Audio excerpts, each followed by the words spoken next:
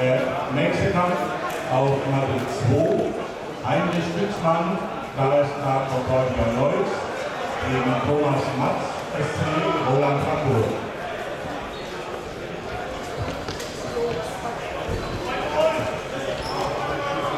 Und auf Matte 3 geht es weiter mit Andreas Kugiak, G.